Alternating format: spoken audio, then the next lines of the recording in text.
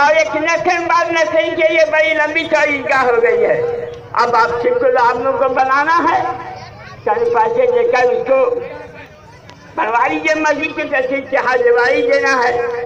اس لیے ایک بجٹ بنایا گیا تھا کہ جو ماسٹر لوگ ہوں گے، اس سے کچھ زیادہ آمدنی ہوگی، جو کچھ افسران لوگ ہمارے گاؤں میں ہیں ان سے کچھ آمدنی ہوگی۔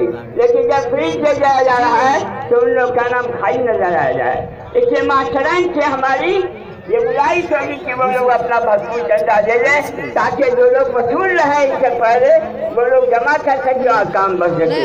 اور جب لوگ ہیں۔ اور میرے دوستوں اللہ تعالیٰ کا شکر احسان عظیم ہے کہ آپ کا یہ لوام گاؤں اکتوبر سے میں جاتا ہوں، میں کہتا ہوں، یہاں گیارہ مسجدیں ہیں، جو پنچایت کا گاؤں ہے، بھیا بائی کا گاؤں ہے، ایک جگہ لوگ نماز پڑھتے ہیں۔ اور میں جین کا امام ہوں۔